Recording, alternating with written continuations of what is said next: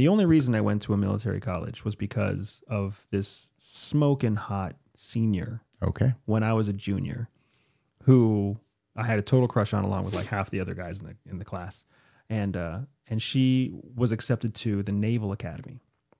So at the time, like I, I had barely started scratching the surface of like a college search. Right, my family had told me I was going into the military.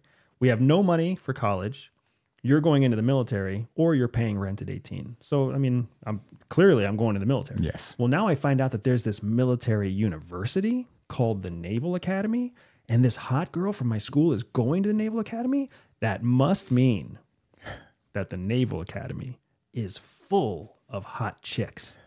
So that's what took me to research military universities. And then I found out that there's other military universities, three other military universities. So now I'm like, I feel like I hit the gold mine. Four schools, all complete full ride scholarships, all guaranteed jobs as officers when you graduate, and clearly all full of hot, beautiful girls. So I applied to all of them and I got accepted to the Air Force Academy.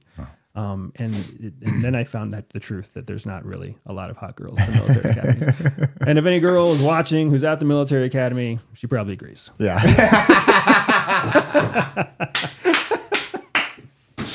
so wait a minute. They, you go to school, they pay for all of it, and you're in. The, I, I don't. Can you kind of explain that because I don't understand that. Yeah, so the Air Force Academy, the Marine, uh, I'm sorry, the Air Force Academy, the Naval Academy, West Point, which is also known as the Military Academy, and then the Coast Guard Academy.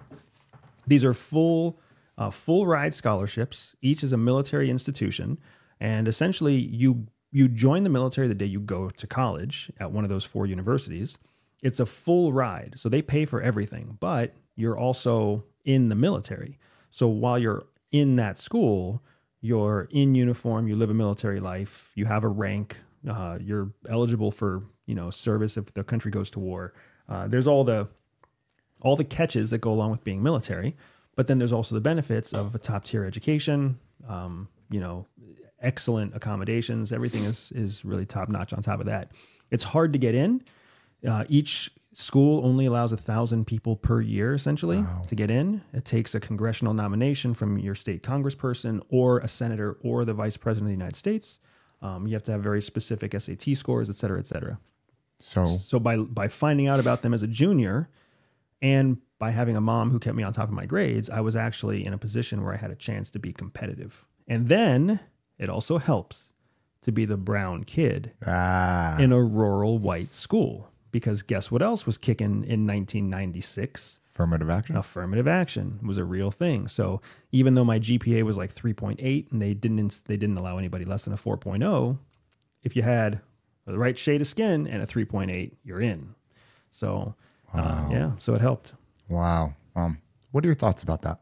You know, I, the thing that I love about the United States is that the United States has always been a country that's based on equal opportunity, right? Equal opportunity.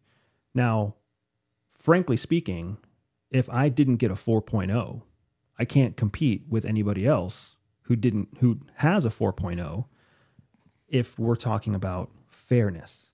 Yeah. Right? If it's true equality, then my 3.8 is empirically different than their 4.0.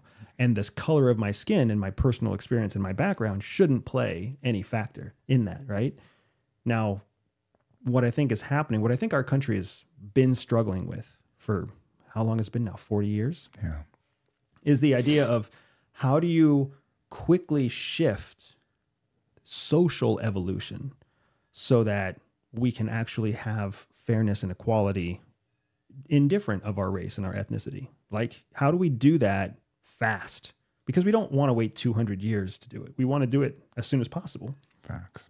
So then that's where policy and laws and experimental legislation come into play. And now they're like, oh, well, maybe if we just if we give more scholarships to inner city kids, then that's going to accelerate the evolutionary cycle, socially speaking, of when white people and black people will see each other as equals, or or how we'll shortcut our way through this awkward growth process.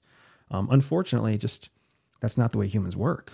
So so we can chase and we can fight that fight, and it's a noble fight for sure. Trying to make sure that that women have equal pay to men, very noble fight. Trying to make sure that inner city kids have equal opportunity to to you know uptown kids very noble fight. These are all very very noble fights. Unfortunately the truth is one will always see the other as a threat. And therefore they will never see each other as equals.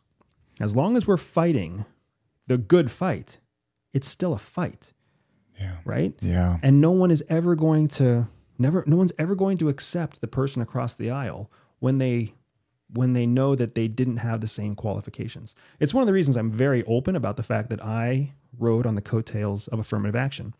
I'm telling you right now it wasn't fair. I'm telling everybody watching and anybody who asks me it's not fair. I should never have gotten into the, the air force academy. Shouldn't have happened.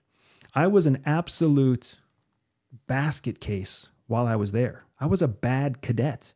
I didn't do well in college. I didn't do well with the rules. I didn't do well with the fact that it was a mostly Caucasian school again. Like there's tons of stuff I didn't do well with. But I kept they kept me there. They kept me there, my parents kept me there, lack of options kept me there, right? Because they needed a certain number of brown kids to graduate. Ah. So I got like, you know what I mean? So I've been through this experience and I've I've I've traveled the world thanks to CIA and I've seen how it works outside of the United States. You know what every country is like outside of the United States? Fucking racist.